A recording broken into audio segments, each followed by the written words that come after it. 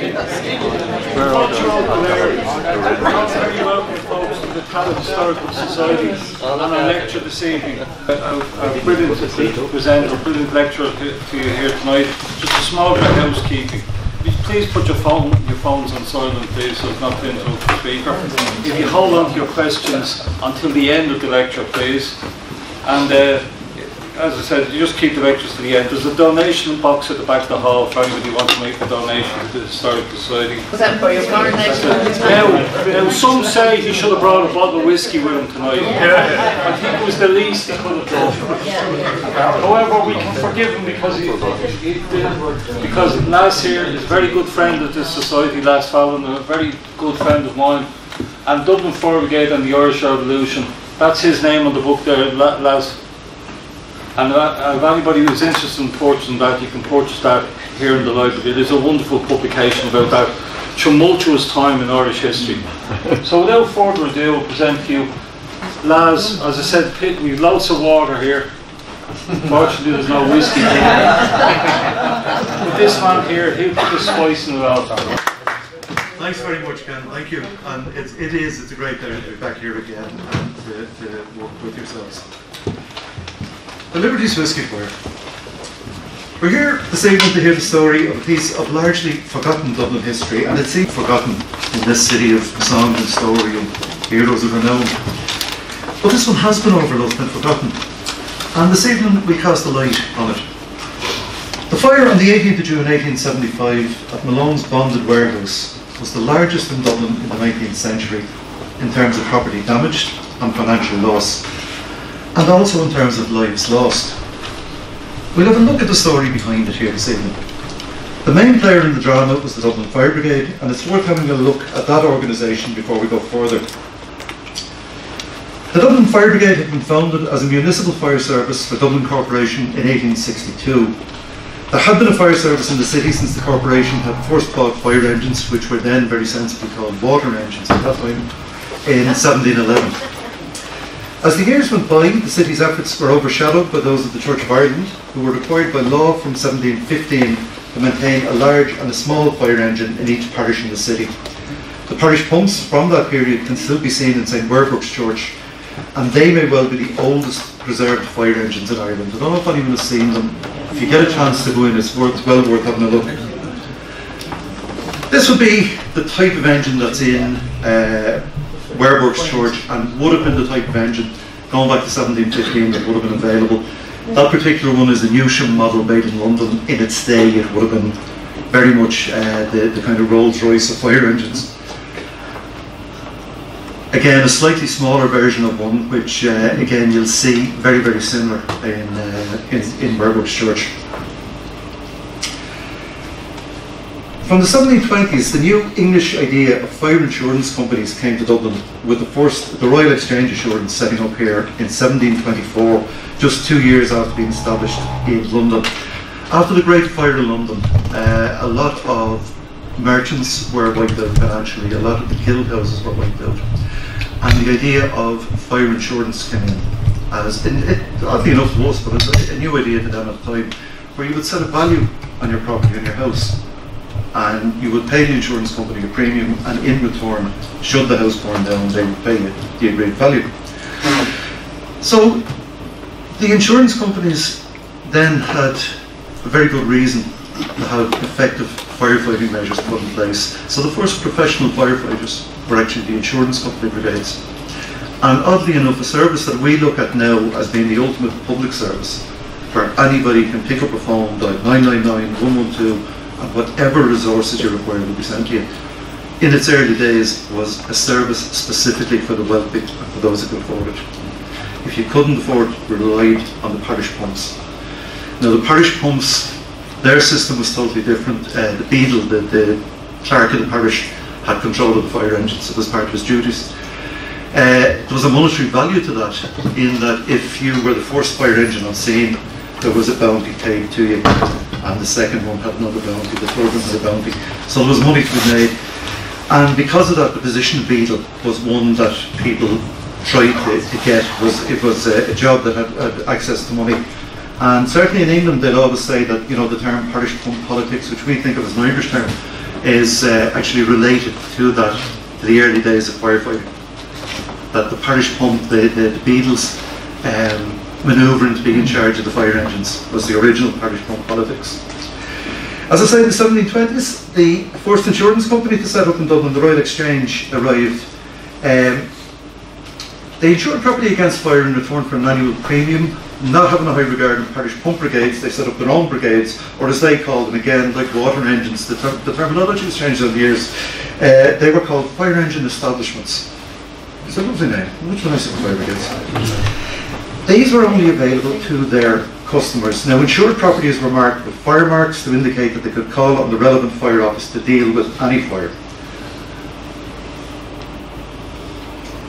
This would be an insurance fireman's uniform for the Royal Exchange, the first company to set up in Dublin. One of the things about it was they were very highly impractical, but very colourful uniforms. Because the majority of people were illiterate. So you had to have something that branded your company. So the Royal Exchange where the fellows in the pea green suits running round. The uh, Sun Insurance, who I've just flown past, were in blue. Different companies had different colours. As I say, totally impractical for firefighting, but very good advertising.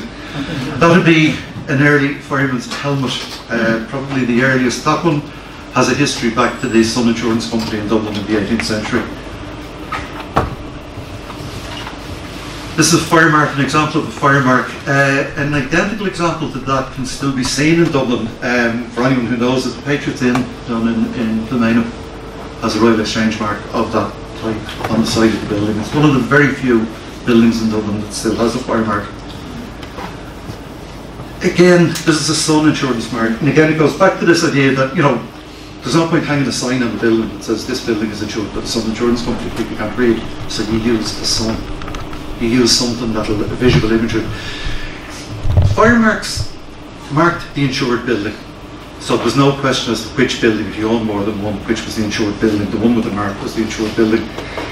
It was also the first street advertising for the companies. They had this on the outside of the building, so in effect it was advertising for themselves.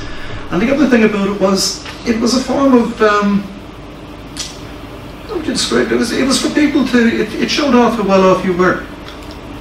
It's it's a sign on the outside of the building showing that you are so well off, you actually have to insure the place. You know, it's it's like having the Porsche parked outside. You know, it shows that you're you're you're doing fairly well.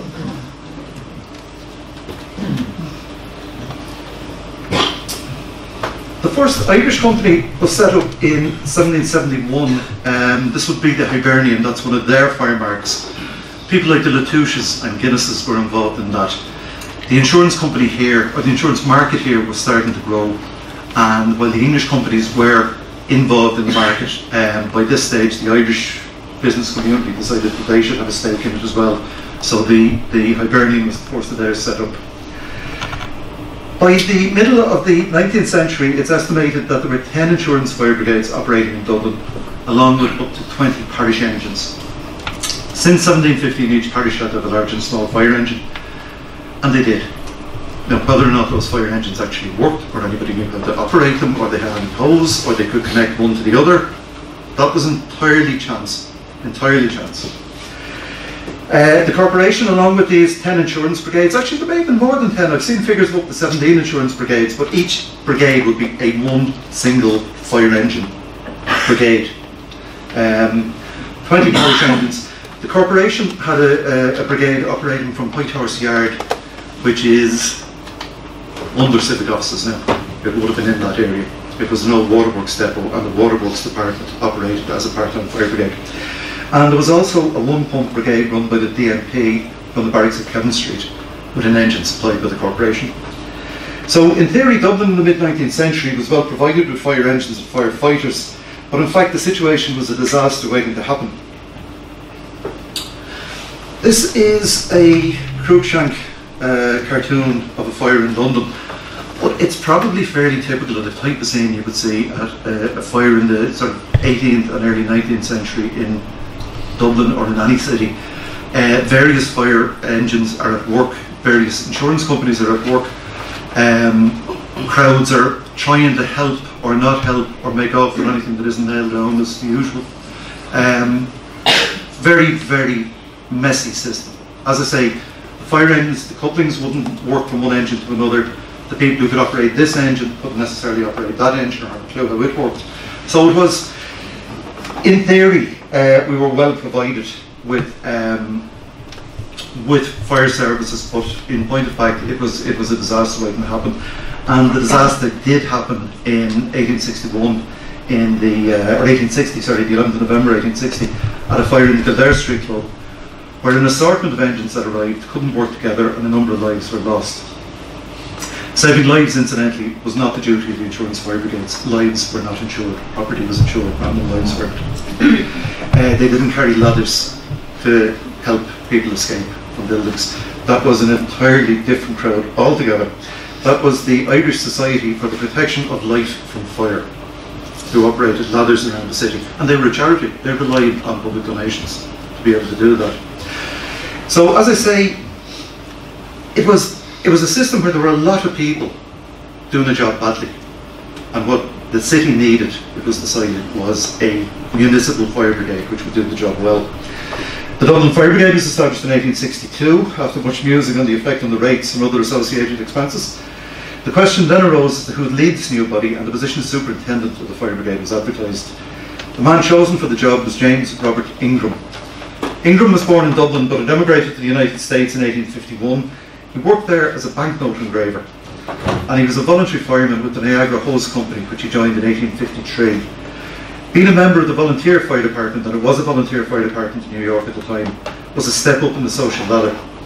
He returned to Ireland in uh, 1861. While he was in New York, he became a member of the Niagara Hose Company.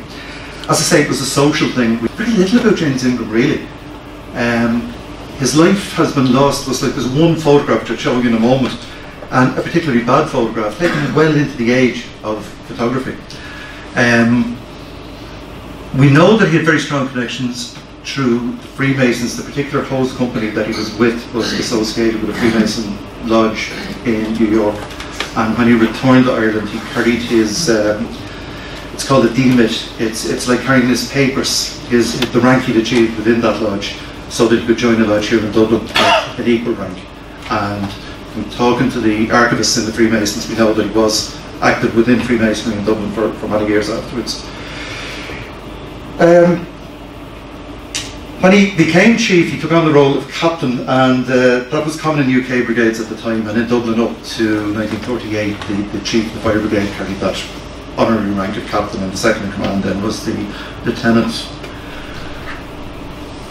this is a helmet from the Dublin Fire Brigade, would have been worn from the initial days from the 1860s right through to 1948. Um, it's what they would have been wearing on the night of the uh, of the whiskey fire. That was your main piece of protection.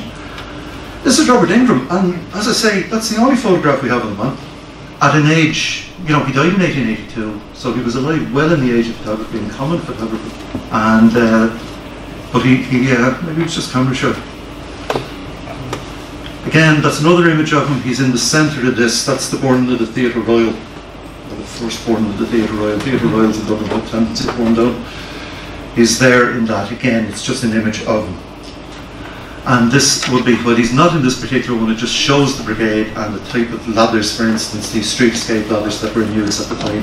That's a very early photograph of the Dublin Fire Brigade, probably from the late 1860s.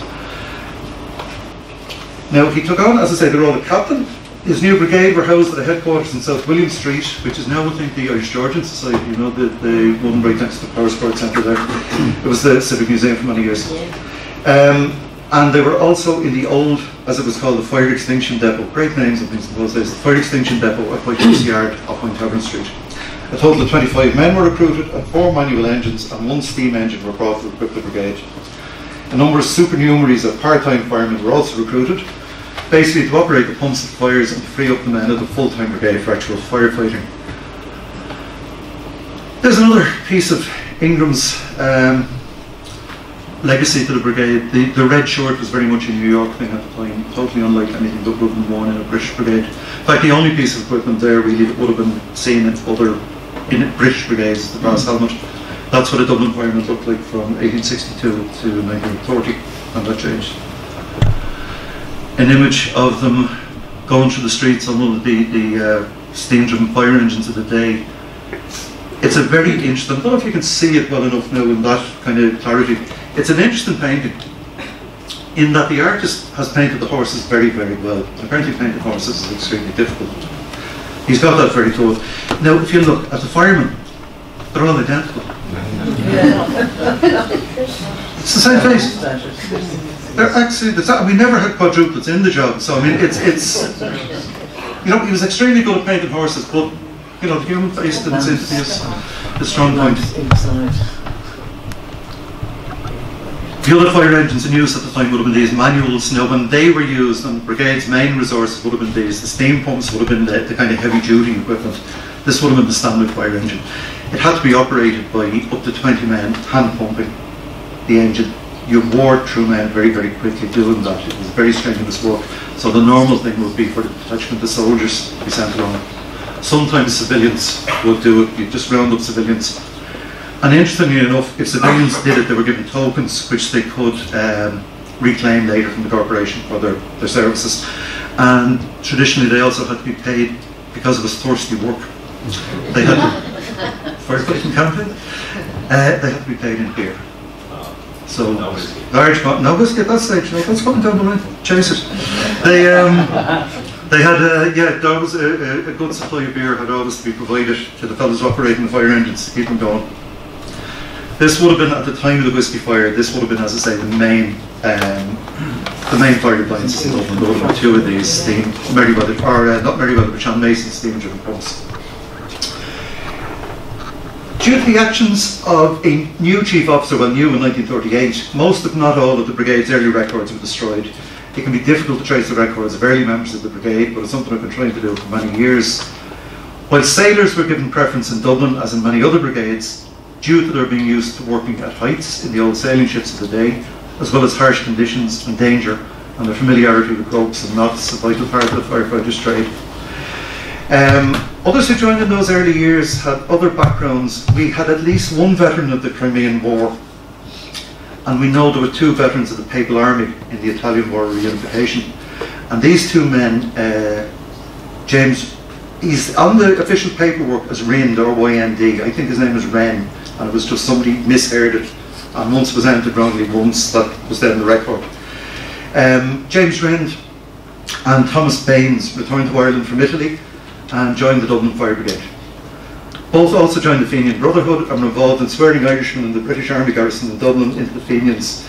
Both they and their senior officer known as the Pagan O'Leary and I don't know if anyone's ever come across him but he's just, he's just a fascinating character um, along with many in the Fenian Brotherhood in Dublin, were sold out by an informer, Pierce Nagle, in 1866 and came to the attention of the G Division of DMP.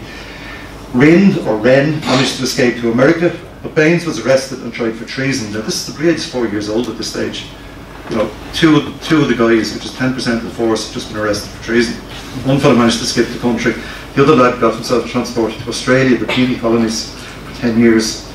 He spent five years, Bain spent five years in the penal colony of Fremantle before being released on licence on condition that he not return to Ireland.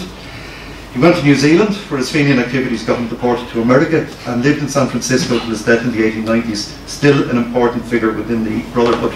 I've seen a photograph of this man. He wrote a book which I cannot get. It was only self-published. It's not in any of the libraries here, maybe in the Library of Congress.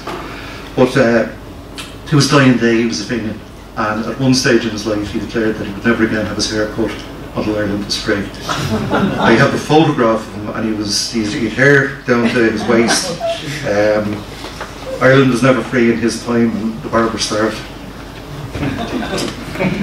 Ingram had a reputation, go back to Ingram, he had a reputation for sometimes unorthodox firefighting methods.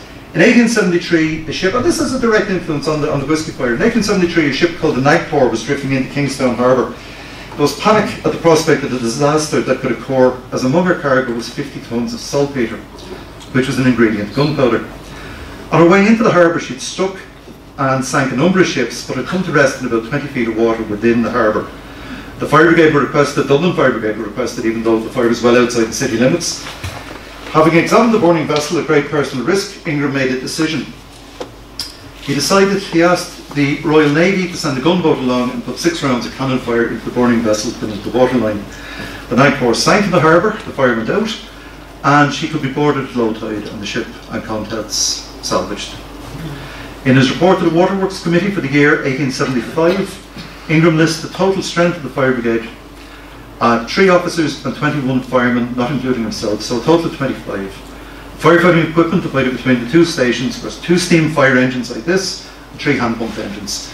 This then was the brigade which would face its greatest challenge on the night of the 18th of June 1875. Just have a wee drop of water myself before we start putting this fire group. At about 8 pm that night, sheets of flame were seen in the sky over the Cork Street, Ardee Street, Chamber Street area. A messenger was sent to alert the fire brigade at Winetavern Street, and the brigade soon arrived to find Malone's bonded warehouse on fire. Malone's the main seat of the fire. There was uh, Reed's Malthouse next door, which was also involved, but it seems that Malone seemed to have been the, the, the main area of fire. What was unusual about it was the first indication that people had that the place was burning wasn't the usual sort of glow in the window and ring for the fire brigade the roof collapsed and flames 20 and 30 feet high were coming out of this building. So this is a fully developed fire. This is a major fire. That area um, was part of what's been called the golden triangle of distilling and brewing in Dublin with Roe's, Powers and Jameson's distilleries in the area as were Guinness and Watkins breweries. The area also contained many bonded warehouses holding spirits in bond for distillers and importers. Malone's is specifically mentioned by Ingram as the seat of the fire. Reed's Malthouse, which was in the adjoining building, was also burning. The fire had taken a firm hold before the fire brigade arrived.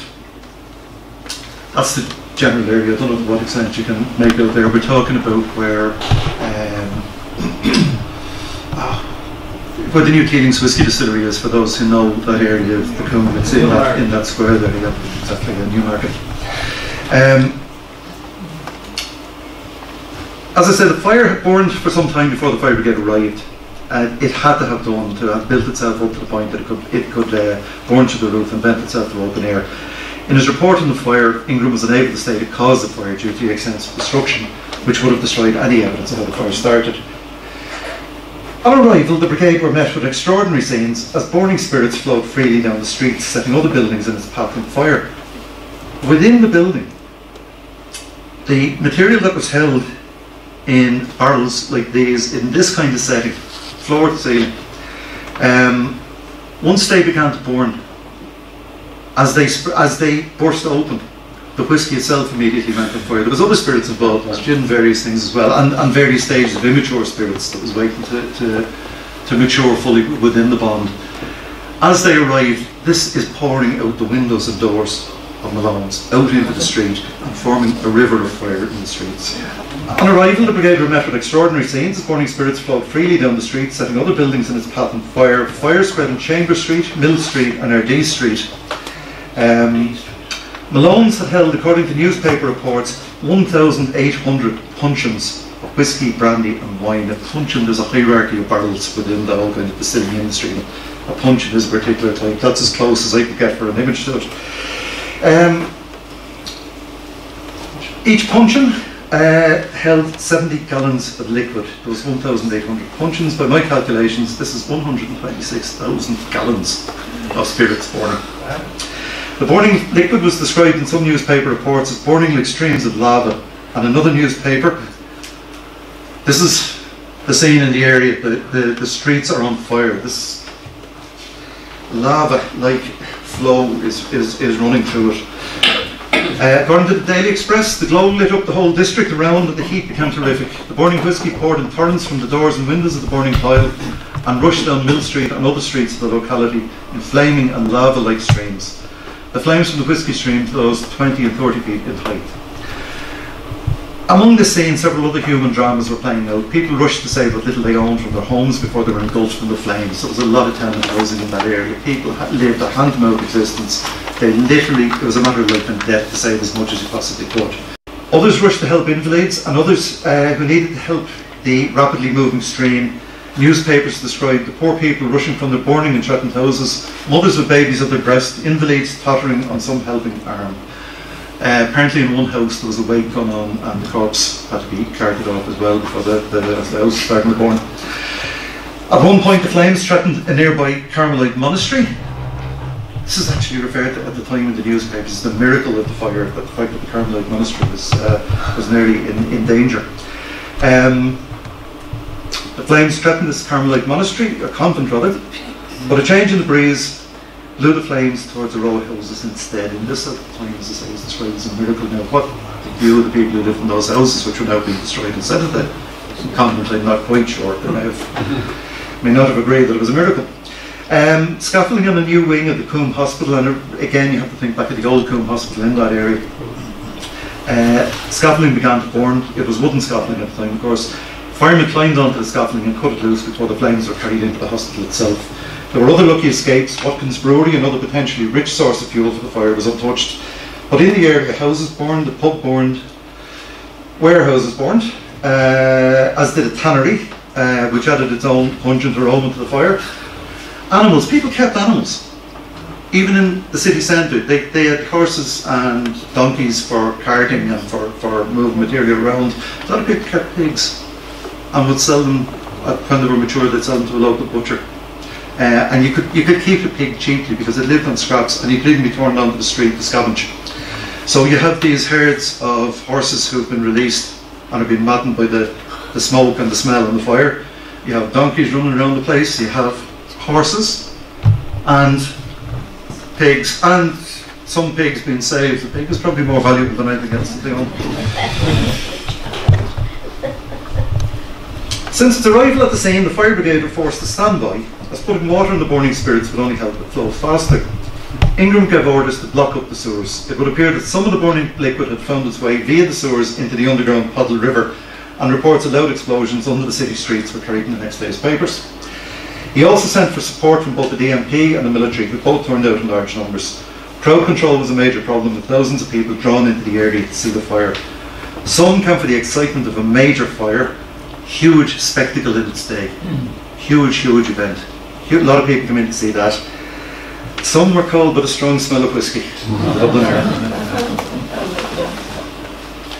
Ingram had his men assisted by the military dig up the streets in the burning whiskey's path. They tried to make banks of the rubble and paving stones, but in most cases the whiskey simply flowed through and continued burning. Ingram had another idea. He sent for the corporation vans to bring what was called ashes, manure, etc bankrupt the streets and stop the burning liquid. The streets of Dublin were regularly cleaned by the corporation to keep the amount of horse manure on them at a manageable level. Everything is, is horse drawn or, as I say, carts with donkeys or whatever. The byproduct of that is an incredible amount of manure which has to be kept off the streets. The corporation are constantly clearing it, bringing it to depots where it's sold on to farmers as uh, fertiliser. Uh, in the days before the proper sewage system, as I say, wasn't just horse manure. In the days before the proper sewage system, ordinary houses and tenements made use of what were called ash pits, where what was euphemistically termed night soil was deposited each morning. Uh, these were supposed to be cleaned out on a regular basis by the corporation or private contractors, but regularly contributed to the squalor of the poorer areas of the city, especially after heavy rains. These were basically just holes in the ground where you emptied stuff into and hoped that someone would eventually clear it out. If it didn't, it simply just either soaked into the ground or got washed away by the rain. Uh, the third of the materials taken to the Liberties that night to help to block the burning whiskey was tan. Um, this is the leftover product from the city's many tanneries, and that particular area from there down to the Liffey, there were a lot of tanneries in that area. Tanning is a fairly uh, messy process. The tanning process involves skins being dipped and washed in vats which contained a mixture of uh, urine, dog feces, and animal brains. This was the start of the process. This is the good stuff. and what we're talking about is the leftover product from this being brought, being dumped, and then brought in to help fight the fire. So, like you're talking about an ungodly mess. Uh, the corporation carts began to move large quantities of the horse dung and other material into the affected area. Ingram had shovels issued to the soldiers and firemen who began to build dams of it across the street and to coat the burning area with it. As the burning whisky hit the wet manure, it began to be absorbed and go out. The tide was beginning to turn at this stage. As the soldiers spread the manure, the fire spread in the streets could be controlled and the firemen could set their engines to work and begin to fight the fires in the buildings. The rivers of lava had been brought under control. Another problem, and not one which Ingram the fire brigade could control by any means at the disposal, had begun. Thousands had rushed to the Liberties from all over the city. Uh, from an early stage, it was clear that some had planned to benefit from the bonanza of rivers of free-flowing whisky. At an early stage, soldiers guarding some barrels which had been salvaged from Malone's warehouse had to fix bayonets to keep a check on the crowd at In the streets and alleyways around the scene of the fire, men and women began to drink the free-flowing spirits. Now, when I say the free-flowing spirits, this free-flowing spirits has now been contaminated by the locked-up sewers, uh, the horse manure, the contents of the ash pits, and the leftovers from the tanneries. but it was free drink, in fairness. In the streets and alleyways, they began to drink the free-flowing spirits. People were gathering the raw spirits with every pot, kettle and jar available.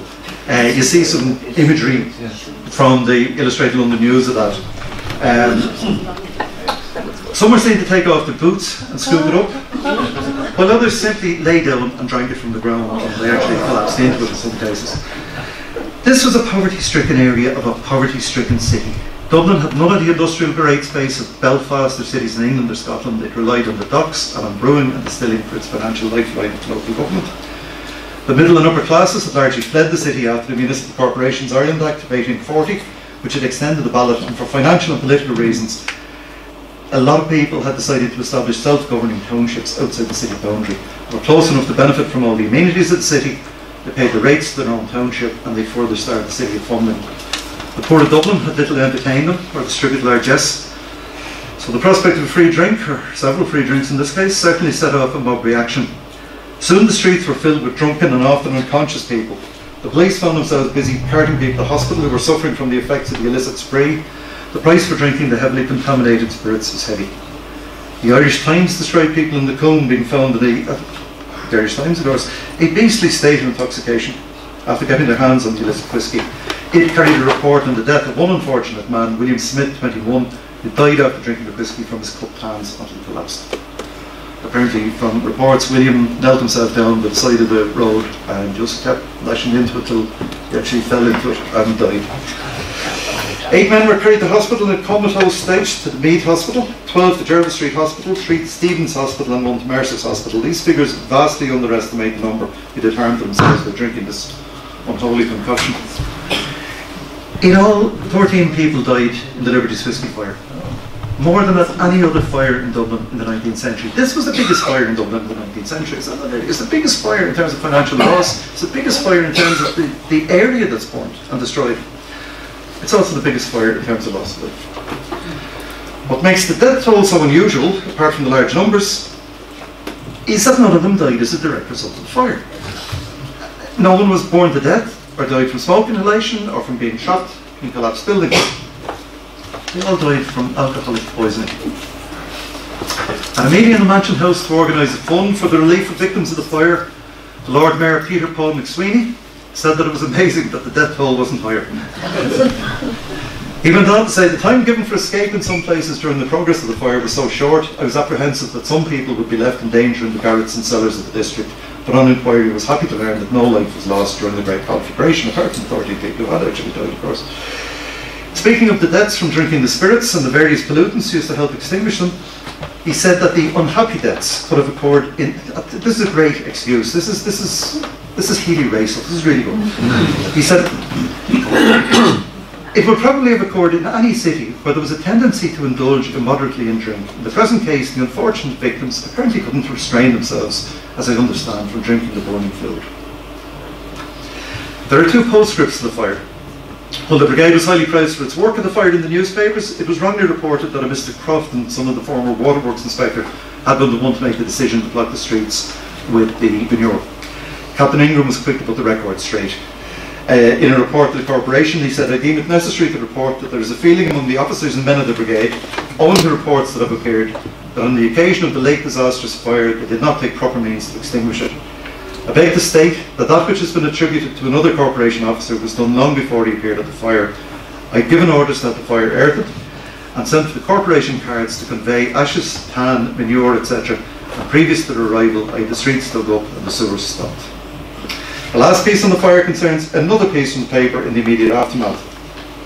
The Irish Times reported that on the night after the fire, a dog ran through the open door of a house in Dominic Street. The animal was foaming at the mouth and appeared to be, in the words of the paper, suffering from delirium tremens from lifting up the whiskey. The dog crashed madly about the house, knocking over furniture, attacked the homeowner who fended it off with an iron bar. The dog then ran upstairs and jumped from an open window. In the words of the Irish Times, it terminated its existence. 143 years since the Great Liberties Whisky Fire. Perhaps we can mark it in some way on its 150th anniversary. New distilleries are opening in Dublin to complement those which have always stood here, and the city is once again a centre of the distilling industry. Perhaps somebody within that circle might arrange a small plaque at the side of Malone's warehouse to remember that awful night and the events that took place close to it. On the other hand, it's hardly a great advertising for drinking whiskey. Folks, thanks very much. Uh, would have been alerted at the same time, and again, they would they would possibly have telegraphed, but the word would have got them very. very uh, people thought about them turning up within six to eight minutes at the alarm, which is remarkable when you think that they're horse-drawn vehicles that have to be Yeah. have to be put together and, and brought on. Uh, Two questions. Could you clarify the date again for me? Uh, the 18th of June, 1875. The second question is, how long did the fire last? Like you were describing things there which would, in my imagination, would take hours and hours and hours. Oh, absolutely. It went, it went through the night. It went through the night. It's it spread through the area. I was only there on Thursday. Um, funny enough, with a film crew, a French film crew who were doing a piece on uh, Dublin history has picked up on this and wanted to see here, and we're just talking about it. You can still trace the route of the fire. You can still go past Watkins Brewery, where because it was flowing downhill, it actually accelerated past the entrance to the, to the both the brewery and the, the, the workers' houses beside it. But the warehouses, the tenements, the rest burned, and a lot of them would have had to be written off, that there, there was no saying of them. And the firefighting effort would have concentrated on uh, factories, warehouses, places of value, to be honest with you. An awful lot of, the- yeah, an awful lot of the, uh, the tenements would have had to be just um, let go of the flames. Yes. Where did they draw the water from? Uh, they had a street system in Dublin going back prior to the fire brigade, the old wooden water mains, where, where on the streets were under the streets rather. And in those days, prior to fire hydrants being installed, what you did is you would have somebody from the waterworks point out where they believed the wooden water mains to be. You'd lift the cobblestones and you dig a hole down to it. And when you unearth the wooden uh, main, you, you open it up then with an axe. You basically burst the main, and as the, the hole filled up with water, you bucketed that into the fire engines and then sprayed it onto the fire. Or just bucketed it straight to the fire, depending on the, on the circumstances. Each time you did that, you wiped out a whole section of water mains that then had to be replaced afterwards. Which hence the reason that they somebody invented fire hydrants. Where was Watkins uh, Brewery? Watkins Brewery is on Ardee Street. If you go down to what used to be the end of Cork Street, Do you remember Cork Street was a, was a key junction. I know they all have Yeah. all the little houses, Watkins. That's right, yeah. Well, well, if you, if you drive down Cork Street you now, Watkins is more or less gone. There's the remains of some of the offices on the right hand side, and you're driving through the what, what was the old brewery. It was demolished to make way for the uh, the extension of, of Cork Street back in when was that? Back in the, the 90s, I suppose, late 80s, 90s. It was an odd thing because it was a 1916 garrison, and uh, myself and Mal used to keep an eye because there was a there was a marker on it to show that it had been a 1916 garrison, and that disappeared about four years before the building was compulsorily required and knocked. Um, which I think suited some people not to not to be reminded that it had a historic value itself. Yeah, um, I recently done a visit around Teeling's uh, distillery there, Yeah. and during that tour they explained that they actually can't, while they distill the whiskey in Cork Street or just off Cork Street, they they actually can't. Uh, I don't know what the f- phrase is, cure it or age it Yeah. Yeah. because since that fire, uh, all curing has to take out take place out in the country. So Teelings is actually matured somewhere in Meath. Or, Yeah, there are there are still some bonded warehouses around. There were for a long time after. One of the things that changed was that I just go through a couple of uh, these here, if I may, there again, they're the, the fireman's helmets. That particular helmet there, uh, if you look at the design on the front of it, anyone who's a whiskey drinker will recognise it. That's from Powers. Powers. Uh, they had their own in-house brigade. Now, the like of Guinness would always have had an in-house brigade from the 1700s. The of Powers and the other whiskey distilleries set up their in-house fire brigades. Um, yeah, the bonding within in the bonding process, part of the spirit evaporates. I know the the, the distillers call was it the, the, the angel share call it, isn't it? Um, so I mean, it's an inherently dangerous process. So it would be ideal to have it in somewhere that had a sprinkler system and had fire protection and the rest. But in those days, that certainly wasn't the case. Whatever whatever was available was used. You What started that? There's no way of knowing because normally to, to trace back on a fire you go from the point of least damage to the point of most damage and if you found that you found where it started. But you know, the whole area was basically destroyed. I mean it was blitzed, it was you know, there's no way of knowing. Yeah. 1875 there were probably uh, candles in use in there. Um, you know, again it'd be pure supposition, but I mean, you know, could have, could have been anything. Ratman over a candle. Yes. Two questions. Firstly, what proportion of investigations were carried out subsequent to the, the fire? And secondly, have you ever come across any photographs that were taken of the aftermath? No, I haven't. And again, it's it's well in the age of photography. And the only investigations that would have been done would probably have been a police investigation, which would have looked at whether there was a break-in to cause it. No idea if that report survives. I mean, the building itself didn't survive, so there would have been no evidence, one way or the other. The only people who would have had a kind of vested interest really in investigating the fire would have been the insurance companies. And there would have been, because of the size of it, um, 570,000 litres of spirits. Uh, it would probably have been divided between a number of insurance. No one company would take on that amount of risk. So they may well have investigated. But again, the place was gone, it was ashes. So there was no way of portioning blame on it. Was there insurance payout? No idea. There had to have been. There had to have been. But the people who would have got the payout, funny enough, somebody asked me that? So the people who would have got the payout would have been Malone's. They would have got a payout. Reeds, the, the, the Malthouse would have, the people who owned the tannery, who owned the warehouses. The ordinary people living in those streets would have got nothing from it. Now, would there have been a payout from the, or claim against the corporation? And malicious damages. Yeah. Eh, But suppose they they couldn't prove malicious. Yeah, well, it's, most of it would have been corporation property. You know, basically, a lot of the tenements, a lot of what, a lot of what wasn't insured would have been corporation property anyway. So, you know, It it would would have have affected the rate. Not that I, no, I don't think it did. I don't think there was any specific. It, it was the insurance people who were actually footing the bill this really at the end of it. Uh, there would have been charges for the police turning out, there would have been some small charges for the military turning out, but it would have been, you know, shillings if there was a couple of quid involved, it would have. I know that the tenants are obviously wouldn't get anything, but uh, I would imagine these buildings would have been owned by at least some landlords who would have seen maybe uh, the chance for a quick couple of hours and would have to maybe uh, charge against the insurance companies or indeed against the, co- uh, the, the corporation. Landlords making a quick couple of votes in Dublin. um, yeah, I can imagine the would. I can Yeah. imagine the would. Yeah. And, then- and again, the landlord would probably have the place in insured. Yeah. If, if any insurance company was not an insurance tenant, you know. Well, but- it is- yeah. Your research has come up in No, no. Yeah. Again, you see, a lot of the insurance companies that were in action at the time are long gone. Yes. Most of the insurance companies now are amalgamations of amalgamations of amalgamations. They tend not to have a huge respect for their own history in, in some ways in terms of keeping paperwork. So, you know, you, you would be going back to companies which haven't existed in a hundred years and hoping that the predecessor or the, the, the present companies would have kept some paper. They don't, really, to be honest. You were saying that there was um, two stations, Yeah, yeah, and it was that in 1875, yeah? yeah. From 1862. I know there was one down, and I don't know whether you mentioned the other one, that there was one in Townsend Street, where was the other one? No, the, the, in, it, at this period, the two stations were St William Street, which, do you remember the old Civic Museum? It's right next to the. Yeah, The basement of that was a fire station. Oh. The chief officer lived there, and the unmarried fireman lived there. And there were two fire engines in there. The other two fire engines were at what was called White Horse Yard, which was, as I said, under civic offices. It was in that kind of Winetavern Street area.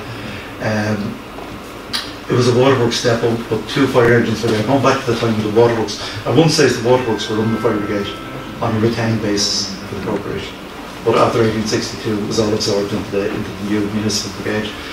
But firemen would have kept their equipment there, and the firemen attached to that station lived in tenements in Cook Street. They would only have moved out of there in January 1914 to move to Thomas Street. That's when, when Carbon Street went. But uh, the brigade headquarters had moved a couple of times up to 1904 when it went into Tara Street. Um, that was part of the, the Chief Officer Purcell's redesigning of the Dublin Fire Brigade where he quartered the city and put a fire station in each quarter to Thomas Street, Tara Street, Buckingham Street and Dawson Street. But again, got to go to the 1890s. Rathmines is a separate township. Rathmines is one of these um, self-governing townships. Oh? Like Pembroke, it had its own fire station and its own fire brigade, full-time uniform men. But uh, they operated totally independently of Dublin Fire Brigade. Hated to live inside of each other the other ones. um, and Dublin Fire Brigade couldn't go to a fire in Rathmines unless they were invited. And mine's could not cross the canal until the last living Dublin fire had expired. It just was up there, it just couldn't happen. Even in 1916 or 1916.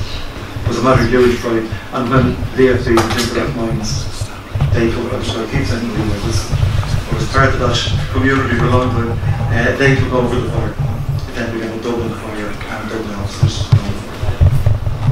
You mentioned that the fire brigade had a praise for their work. Yeah. Um, did that encourage the authorities maybe to invest more heavily in the fire brigade and maybe expand it in the future, given that the city is going to be expanding as well? And there's a likelihood of maybe similar fires in the future? They, The possibility, maybe. yeah, yeah. Well, traditionally in the fire service, and the Irish fire service in particular, um, after major fires and disasters, everybody takes a huge interest in it Yes, till something else comes along and they forget about it again. Um, Ingram was building uh, a, a system in Dublin. He was building a brigade. Uh, this was 1875. Didn't really. They got a, they got a third steam fire engine a few years later. But I mean, that was it. Got- At the end of his time in 1882, he died in service. He died of TB, which was the biggest killer of the environment in the 19th century. Because they were living in tenements, their business brought them in and out of tenements, especially after 1898 when they took over the ambulance service. Um, they were in constant contact with TB in a city that was riddled with it. So, as I say, it was the biggest single killer of firemen in the 19th, early 20th century and killed him as well. It was really, there was no huge expansion in the brigade. There was an expansion in that he built it from nothing to a, to a good working brigade in 1882. The chiefs that came in then, Boyle, from 1882 to 92, basically kept things in place. The brigade didn't expand. It actually had its first deaths in service. Three men were killed in two separate incidents in this uh, control. Um, the, the brigade had stagnated, and then in 1892, Thomas Purcell came in, he was probably the father of the Irish Fire Service, and developed Dublin into basically what, what, to a degree, but it still is. You know, we've made it the, the, the primary rescue organisation in the country and poured resources into it. Um, invented a lot of fire. You there's a great history to that man, but uh, he's a wee bit outside of her. Thank you. No, I- yeah, sorry. Were there any lessons learned, i.e., uh, did the fire brigade, you know, they had to be called out to the fire again with alcohol? Was there any special new procedures inserted, or oh, was it just okay that that man Ingram had the initiative to, to do what he did? It was. I, I think it was. It was Ingram had this great capacity, whether it was from his time in New York, that he wasn't in the kind of hidebound systems that have worked in other brigades. He, you know, he could think outside the box, like like the ship fire. When everyone else is wondering, you know, what they're going to do when Kingstown burns down, he basically has the ship sunk. So you know, the fire's gone away now. No, there was no. It was such an unusual fire. It was a fire that was never. It was the biggest fire, say, in the 19th century in Dublin. it, it wasn't. It was not firing on that scale again until Easter 1960. Um, the brigade didn't deal with anything on that kind of massive conflagration level. He was a brilliant firefighter, but he just didn't have the resources. I mean, they were relying on, on a very small proportion of the waterworks rate to run the fire brigade. And the corporation, all local authorities don't like, you know, your fire brigade's the same as chimneys in summer. Nobody wants to pay for them until they need them. Was there any fire regulations in those days? Very, very basic fire regulations. Uh, a lot of it would have would have been certainly self-governing. The insurance companies uh, would produce maps I've seen, I think they're called Goad, C-O-A-D um, maps, and they would map areas of the city. I've seen one of the Dublin ones, uh, covering Moore Street, where they would go in and they would they would map the fire risks. So if you come to them and say you want to insure number 123 Main Street, they want to know what's in 121 and 125 and what's behind you. So they'll send surveyors out and say, you know, that's fine, that's absolutely no problem at all, but there's a fireworks factory next door. And the guy at the back has a stable where he stores gunpowder and you know, the fellow on the other side is a pyromaniac, so maybe we should sort of push his insurance up more than you would think on the face of it. That was a kind of self-regulating or a kind of self um, taking care of their own business within the insurance, but there there wasn't a lot of. We've been very poor in terms of um, fire safety legislation.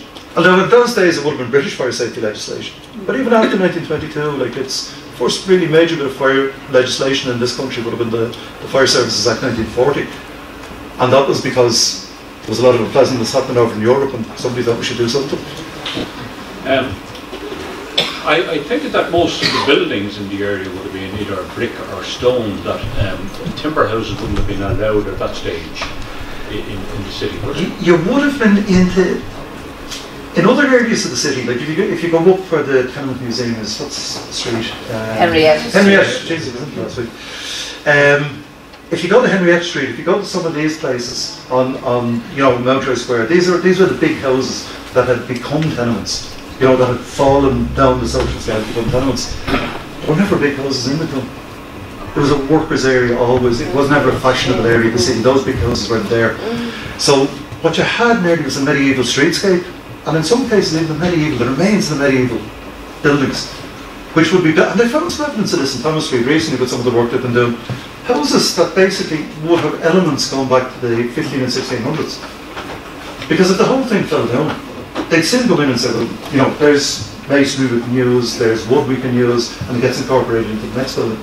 But there wouldn't have been any kind of modern, building. no, the, the like Malone's and warehouses and places like that. Yes, somebody pointed out, it was again, I was doing a talk for a local history group down in the area, and we did a walk around, and someone did point out some brickwork on a wall there, which does show signs of having been involved in fire, whether it was that fire or not. But it certainly does show a scalding that, that looks very much like it was scorched at one point. There was a lot of wood. There was a lot of wood under the plasters in the old house. Oh, yeah, they yeah, yeah, And that's what happened a lot. yeah, When the, the, the people didn't realise there was wood under the plaster. Yeah. And the, the people might remember the strips going all along. Yeah. And they were, they, were- they really had the fires when it happened. like. I've done a bit of work, done small work on the burning of the Custom House uh, in, in 1921 because um, quite a few firemen were involved in the burning of the Custom House because they were also IRA and Citizen Army members. They had to plan the burning and carry it out. And one of the things that you find with the Custom House is that in the aftermath of the fire, when they did survey it, they found some very, very shoddy building practices had been used. Apparently when it was being built, the builder went bankrupt and somebody else stepped in to finish the job, they cut a lot of corners. So as you say, you had timber being used in lintels, but then plastered over to look like stone. So, um, you know, sh- shoddy building like was around the 18th century, 19th century. Yeah, was indeed, yeah. You said Protestant churches had their own fire brigades. Yeah. How did they function and when did that practice cease? 1715, because they were the established church. Yeah.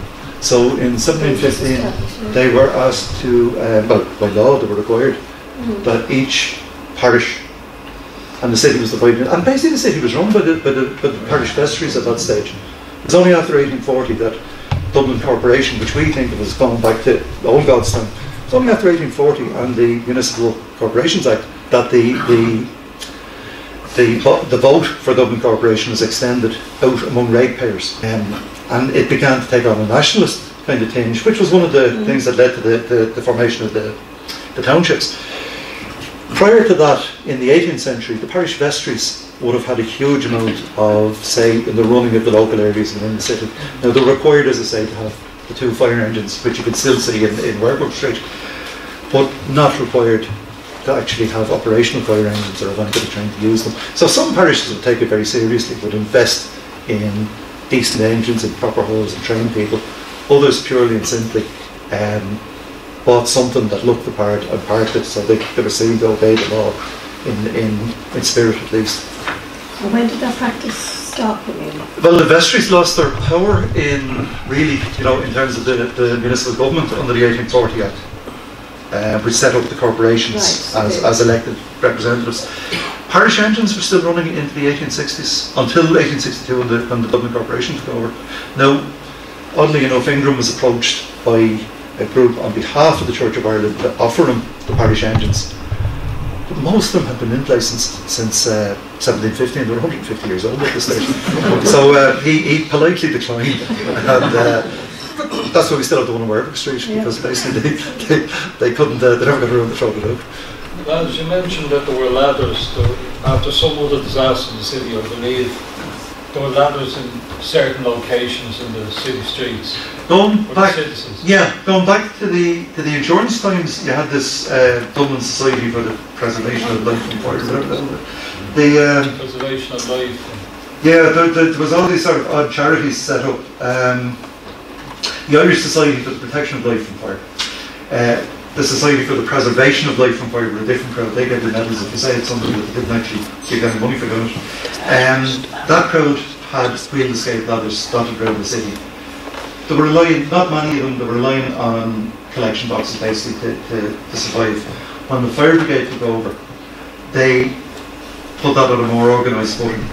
And you had sentry boxes put in place at buildings. You had Catherine's Church, um, Nelson's Pillar, ma- mainly churches, Bank of Ireland, places that people, uh, Leinster House, places that people would know.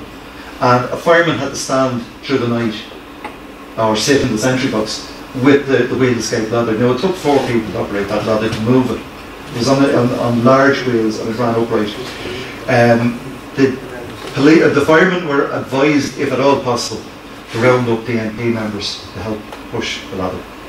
And if they couldn't find DMP members, to get members of the public, the reason being that the corporation wouldn't have to pay DMP men. But if they had members of the public, they went entitled to a shilling or whatever it was, two shillings for pushing the ladder along. But um, it was a problem. Again, going back to the man I spoke about, Purcell in the 1890s when he came in and the electric tram came into Dublin and the Loop Line Bridge was built, these ladders couldn't operate any longer because they couldn't go under the wires. He'd have to drop it, move it under and try and bring it back, which it wasn't designed for. So he, he invented a horse-drawn turntable ladder, which is one of the four time in Europe. Sorry, I'm waffling away there with ladders. Yes, Oh, uh, sorry, I'd given up. Um, actually, uh, you may have answered it already. I just was thinking of the people in the tenements. If your tenement was gone, your bed was gone, your plates were gone, your saucepan was gone, you- what happened? I mean, you, oh, you did, I do remember talking to somebody once and they said, well, they ended up looking at the burnt out house and they, all they had was a cup and a plate. Mm-hmm. You know, what happened to them? If everything was gone, you were gone with it. There was no, you know, there, there, there was other than, other than charity. There was no Well, sort there- of. There was no, oh, just, No. the- but there must have been quite a lot of oh, people. Oh, there would have been, yeah. There would have been. With just oh, Wonderful, nothing. Yeah, absolutely. Only Nothing. what they stood up. Yeah, yeah. I mean, you see, you see in the images, and I know we're laughing at them, and it's, you know, it's funny. Sort of, it's, it's a safe distance to be funny. But people running down the street holding that pig was. Oh, yeah, what was going to I keep that family alive? completely, You know? yes, yeah. So, um, yeah, there was no, no, there was nothing there for them, bar charity. Um, and you know, charity in a poor city can be a very, a very cold thing. Mm, mm. Mm, Thank you. I wonder was Stockwell's the biggest fire since then in the city. Buckles. Uh, I know. Well, you you go back like from No, I just wonder was the biggest since then. I'm trying to think now. Another one of ours as well. Was nine, yeah. Um, no, you, you, the next big fires and the biggest fires that the DFB ever faced were the 1916 fires. Uh, from you know 24 to the, the 29th of April in 16, the, whole- you know the whole of the city burned. Uh, then again in the Civil War there were major fires. Again the upper end, the bit that didn't burn in 16, the O'Connell Street burned in 22. Um, Stardust. Stardust. Yeah, but in terms of life, the Stardust would be head and shoulders. shoulders over there. That was the, was the, the first Street Four disaster. Yeah, yeah. Oh, yeah. That was a very that was a very contained thing. That was a gas explosion or an explosion of gas cylinders. Uh, well, you know, the fire spread into gas cylinders in the exit in the basement, which is one of the One of the guys was Malone, wasn't it? Malone, Nugent, and McCarty. That's right. So the out in um, Glasnevin. That's side by side. the To the right hand side is the Commander in Chief. That's right, yeah, that's right. And there was a fireman on the roof who was Brown Clear. Um, uh, he was, let me see, what was his name? Potts. Uh, he was a great traditional musician.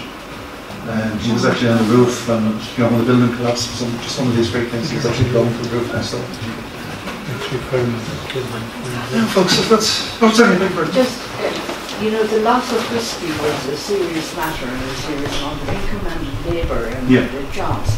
But the biggest loss that, that I am aware of in this country through fire was the records office in, uh, in the, um, the customs office.